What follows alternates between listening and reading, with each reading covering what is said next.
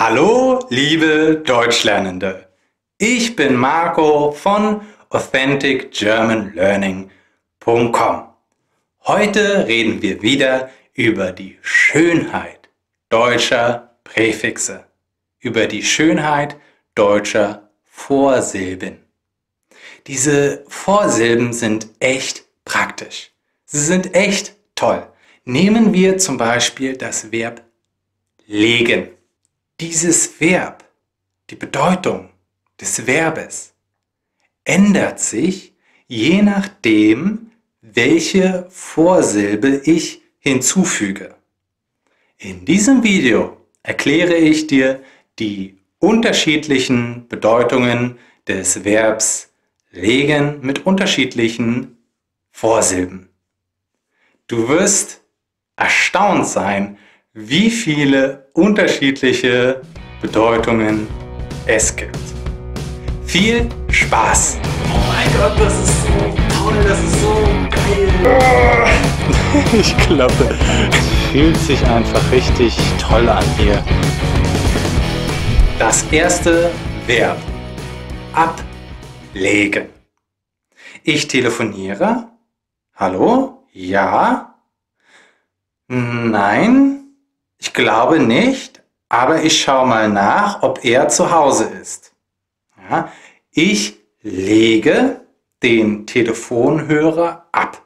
Ja, ich lege ihn zur Seite, um gleich weiter zu telefonieren. Ja, ich schaue nach. Nein, er ist nicht zu Hause. Ich nehme den Kopfhörer, äh, ich nehme den Telefonhörer wieder und ich sage, nein, er ist leider nicht hier. Okay, in Ordnung. Auf Wiederhören. Ja, ich lege auf. Das Telefongespräch ist beendet. Ja, also das erste Wort war ablegen, ja, woanders hinlegen. Und das zweite Wort war auflegen, ein Telefongespräch beenden. Ich kann mich auch hinlegen. Ich bin müde. Ich lege mich hin. Ja, ich habe mich hingelegt. Ähm, ich kann auch anlegen. Ich investiere in Aktien. Ich lege mein Geld in Aktien an. Auslegen. Aber jetzt habe ich gar kein Bargeld mehr. Kannst du mir Geld borgen? Kannst du mir Geld auslegen? Beilegen. Er legt mir zu dem Geld noch eine Notiz bei. Er fügt noch eine Notiz hinzu. Er legt eine Notiz bei. Belegen. Dieses B ist ein echter Präfix. Ja, es ist nicht trennbar. Alle Verben, die wir zuvor hatten, waren trennbar. Wir konnten das Verb trennen, aber bei dem Wort belegen können wir das B nicht abtrennen. Er hat mir mein Geld gestohlen, sage ich. Ja, er hat mir mein Geld gestohlen. Dann fragt mich jemand anderes, kannst du es beweisen? Kannst du es belegen? Ja, man kann übrigens auch ein Brot belegen. Ja, man kann eine Scheibe Brot belegen mit Käse oder Wurst oder Marmelade. Ja, das ist das Wort belegen. Ich kann auch etwas widerlegen. Wenn ich Beweise habe, dass eine Behauptung nicht stimmt, dann kann ich denjenigen widerlegen.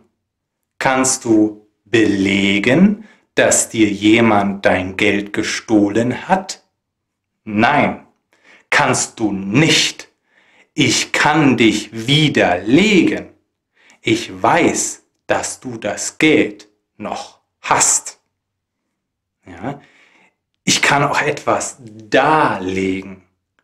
Er erklärte mir seine Gründe ausführlich. Er legte mir seine Gründe dar. Ja? Ich kann auch etwas einlegen. Wir legen Gurken in eine Flüssigkeit, um die Gurken länger haltbar zu machen. Wir legen die Gurken ein. Eine andere Bedeutung des Wortes einlegen. Wir sind geschafft. Wir sind geschafft. Wir legen eine Pause ein. Ja, wir machen eine Pause. Wir legen eine Pause ein. Ich kann auch etwas erlegen. Ich gehe jagen. Ja, ich erschieße einen Hirsch. Ich habe den Hirsch erlegt. Ja, ich kann auch etwas hinterlegen. Ich möchte, dass der Notar mein Testament sicher aufbewahrt. Ja, ein Testament ist ein sehr wichtiges Dokument und deswegen möchte ich, dass der Notar mein Testament aufbewahrt. Ein Testament bestimmt, was meine Angehörigen bekommen, wenn ich sterbe. Ja, das ist ein Testament. Und ich möchte, dass der Notar mein Testament sicher aufbewahrt. Ich gebe ihm mein Testament, sodass er es sicher aufbewahrt. Ich hinterlege mein Testament beim Notar. Ich kann auch etwas nachlegen. Ja, wir haben ein Lagerfeuer. Ja, das Lagerfeuer brennt, aber es brennt nicht mehr so stark. Ich lege Holz auf das Lagerfeuer. Ich habe vorhin schon Holz auf das Lagerfeuer gelegt. Jetzt lege ich nochmal Holz auf das Lagerfeuer. Jetzt lege ich Holz nach. Es gibt auch das Wort niederlegen. Das hat mehrere Bedeutungen. Die erste Bedeutung, die Soldaten hören auf zu kämpfen. Die Soldaten legen ihre Waffen auf den Boden. Sie legen ihre Waffen nieder. Ja, das muss nicht immer wörtlich gemeint sein. Ja, wenn jemand seine Waffen niederlegt, dann heißt das einfach, dass derjenige aufhört zu kämpfen. Zweite Bedeutung, ich kann auch ein Amt äh, niederlegen. Der Kanzler, ja, ein hoher Politiker, ist zurückgetreten. Er hat sein Amt niedergelegt. Dann gibt es das Wort überlegen und überlegen. Ja, es wird genau so geschrieben, aber es wird anders betont. Überlegen und überlegen. Die erste Bedeutung. Ich denke nach, welche Beispiele ich für dieses Wort nennen kann. Ich überlege, welche Beispiele ich nennen kann. Nicht zu verwechseln, ganz wichtig, Nicht zu verwechseln mit überlegen. Mir ist kalt. Also lege ich mir eine Decke über. Ja, ich habe eine Decke. Mir ist kalt. Also lege ich eine Decke über. Ja, ich lege die Decke über mir. Es gibt übrigens auch ein Adjektiv, das man auch genauso ausspricht und das auch genauso geschrieben wird. Du, du bist stärker als ich. Du bist mir überlegen. Es gibt auch die Wörter unterlegen und unterlegen. Eine Bedeutung ist zum Beispiel die folgende. Du hörst Musik im Hintergrund. Ich habe diesem Video Musik unterlegt. Ich habe diesem Video Musik unterlegt. Die anderen Bedeutungen von unterlegen und unterlegen sind die Gegenteile von überlegen und überlegen. Der Tisch wackelt. Ja, ein Tisch wackelt. Also lege ich Papier unter den Tisch, unter das Tischbein. Das Papier ist nun unter dem Tischbein. Ich habe Papier untergelegt. Und als Adjektiv kann ich sagen, du bist stärker als ich. Ich bin dir unterlegen. Es gibt auch das Wort umlegen. Dieses Wort hat auch mehrere Bedeutungen. Ich lege einen Schal um meinen Hals.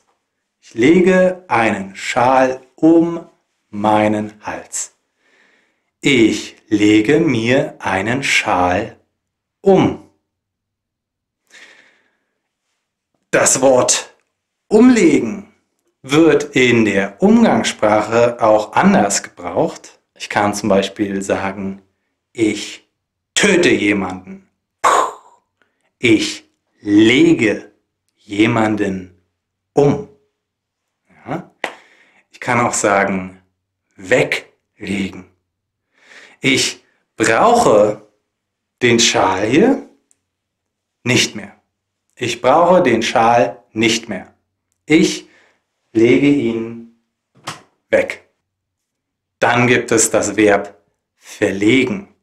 Das hat auch mehrere Bedeutungen.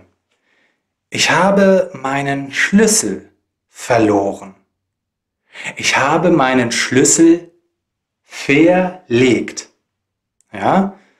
Wo ist mein Schlüssel? Wo, wo ist er? Wo ist er? Ich habe ihn verlegt. Ah, ich habe ihn gefunden. Jetzt habe ich meinen Schlüssel gefunden. Jetzt habe ich ihn nicht mehr verlegt. Die zweite Bedeutung von verlegen. Ich kann leider einen Termin nicht einhalten. Ich muss ihn auf einen späteren Zeitpunkt verlegen. Ja?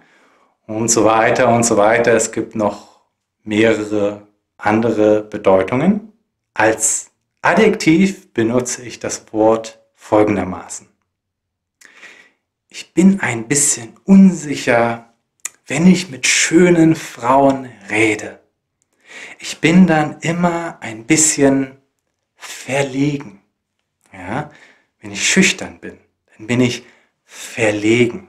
Ja? Wenn ich ein bisschen Scham fühle, dann bin ich verlegen. Es gibt auch das Wort vorlegen.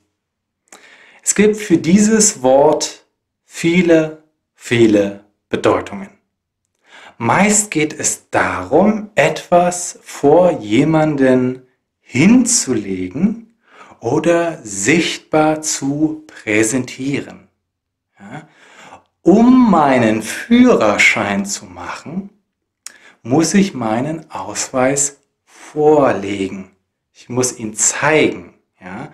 Ich muss äh, zu jemandem gehen und den Ausweis hinlegen. Ich kann dieses Wort auch beim Fußball benutzen. Manuel Neuer schießt den Ball zu seinem Mitspieler. Und der Mitspieler schießt dann ein Tor. Manuel Neuer bietet seinem Mitspieler eine Vorlage, um ein Tor zu schießen. Manuel Neuer legte seinem Mitspieler den Ball vor. Ja. Ich weiß, dass Manuel Neuer Torwart ist und äh, selten Vorlagen geben kann, aber viele von euch sind Manuel Neuer Fans, also wollte ich ihn erwähnen. Das vorvorletzte Wort. Zerlegen. Ich kann einen Gegenstand in seine Einzelteile zerlegen. Zusammenlegen. Ich kann die Einzelteile wieder miteinander verbinden. Ich lege den Gegenstand wieder zusammen. Und das letzte Wort, ich bin dicker geworden. Ich habe etwas zugelegt. Ja, das ist das Wort zulegen. Ich bin dicker geworden, also habe ich zugelegt. Das waren die verschiedenen Bedeutungen des Wortes legen mit unterschiedlichen Vorsilben. Ich hoffe, du fandest dieses Video interessant. Ich hoffe, du hast etwas gelernt und äh, meine Empfehlung ist es, dieses Video mehrere Male anzuschauen, damit du dir einprägst, ähm, was die unterschiedlichen Bedeutungen sind. Ja? Wenn es zu kompliziert ist, dann ist es auch nicht so schlimm. Ich glaube, das Wichtigste ist, dass du ein Sprachgefühl bekommst. Ja?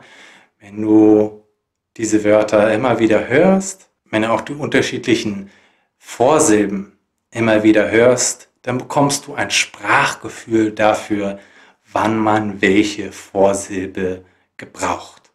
Und um dieses Sprachgefühl zu bekommen, empfehle ich die Authentic German Learning Academy. Dort kannst du Kurse besuchen, die dir ein gutes Sprachgefühl geben. Wir sehen uns beim nächsten Mal. Vielen Dank fürs Zuschauen. Tschüss und auf Wiedersehen.